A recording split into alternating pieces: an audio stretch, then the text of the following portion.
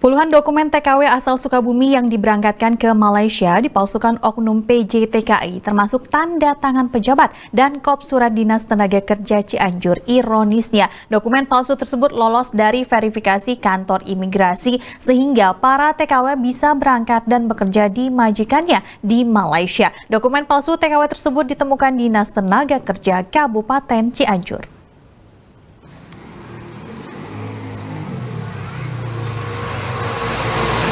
Inilah dokumen yang diduga dipalsukan oknum PJTKI untuk memuluskan tindakan kriminalnya ke berbagai instansi terkait.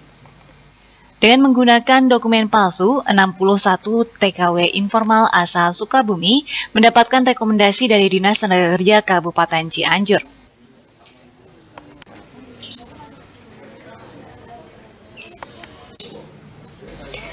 Pemalsuan dokumen tenaga kerja ke luar negeri membuat Dinas Tenaga Kerja Cianjur melapor ke kepolisian.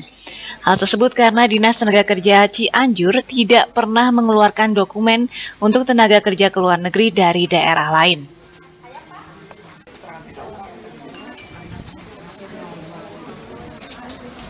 Dari data Januari 2017, Dinas Tenaga Kerja hanya memberikan dokumen resmi untuk seorang TKW asal Cianjur dan tidak pernah memberikan rekomendasi TKW asal Sukabumi. Dokumen palsu ditemukan pihak imigrasi yang mendatangi Dinas Tenaga Kerja Cianjur untuk mengecek kebenarannya.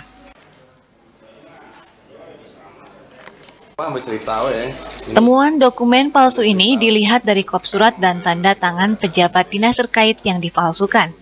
Namun pemalsuan dokumen TKW ini lolos dari verifikasi kantor imigrasi Sukabumi.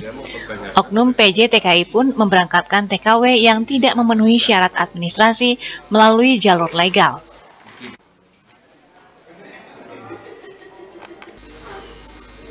Menurut Sekretaris Dinas Tenaga Kerja dan Transmigrasi Cianjur, dokumen TKW tidak resmi ini merugikan, sehingga pihaknya harus mengklarifikasi kepada berbagai instansi awalnya kita kedatangan uh, dari Interkam Direktorat Jenderal.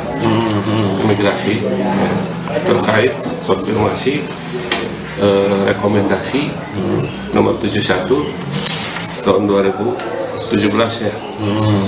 Ini ada tiga berkas yang disampaikan. Ini dengan tiga berkas dengan nomor yang sama, barcode-nya sama, dengan orang yang berbeda. Kemudian berapa banyak? Uh, 61. 61. Ya. Sementara setelah di cross check, setelah dilihat di data komputerisasi kita, ternyata data-data ini tidak ada. Dan memang kita tidak pernah merekomendasikan bulan Januari itu eh, orang-orang ini. Bulan Januari itu kita hanya merekomendasikan 13 orang di luar orang-orang ini. Heri Setiawan, Bandung TV.